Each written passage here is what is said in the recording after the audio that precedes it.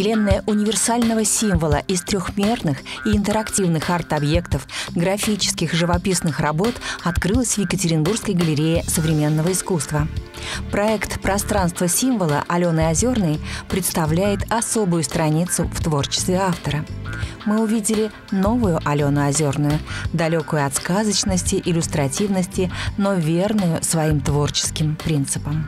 Не столько иллюстративность интересна, сколько смысловые э, такие конструкции, потому что человек по образованию архитектор.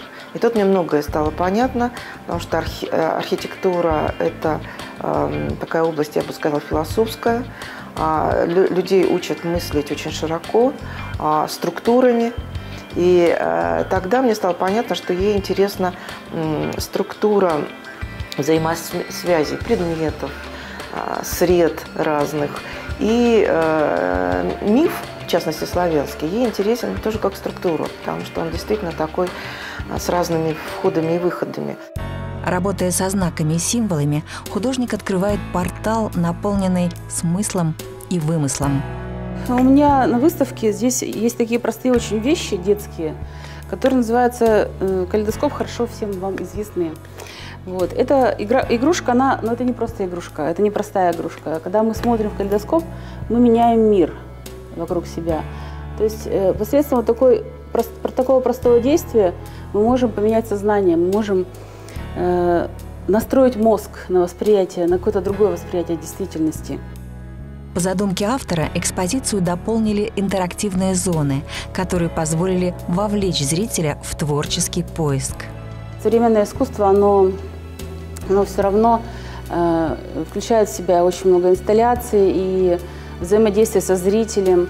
Это не, немножко другой подход. То есть здесь мы можем э, что-то подойти потрогать, мы можем где-то там порисовать, да, мы можем что-то передвинуть, мы можем поиграть с кубиками, например, да, как вот здесь дети, детская зона, где есть кубики.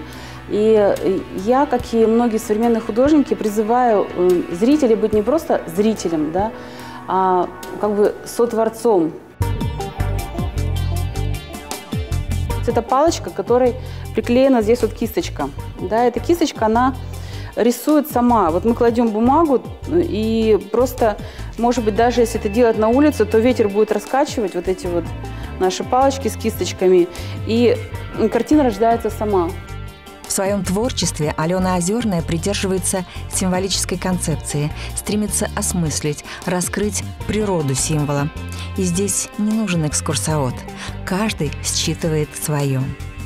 Для меня вот эта зона – это такой кусочек семьи, семьи да, кусочек вот какой-то э, очень важной э, части жизни, может быть, даже самой важной – потому что все равно у нас все выходит из семьи, все рождается в семье, и потом все возвращается в семью.